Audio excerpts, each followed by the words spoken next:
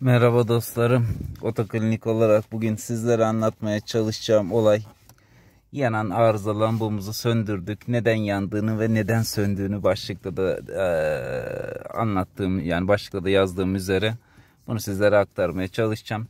Şimdi dostlarım aracımın arıza lambası yandı. Arıza lambası yanmadan önce şu tarz bir e, arıza vardı. Araçta benzindeyken içeri egzoz kokusu geliyordu e, tüpteyken yani gazdayken herhangi bir koku gelmiyordu.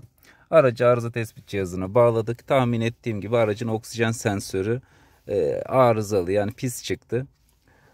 Oksijen sensörümüzü güzelce temizledik. Sonra yerine taktık.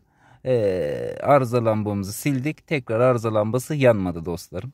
Yani aracınızda e, benzindeyken, araç benzindeyken egzoz kokusu geliyorsa, özellikle camı açtığınız zaman ön kısımdan, arkadan da gelir ama ön kısımda yani direkt içeri doğru geliyorsa bu aracınızın oksijen sensörünün arızalı ya da pislenmiş ya da tıkanmış olabileceğine işarettir arkadaşlar.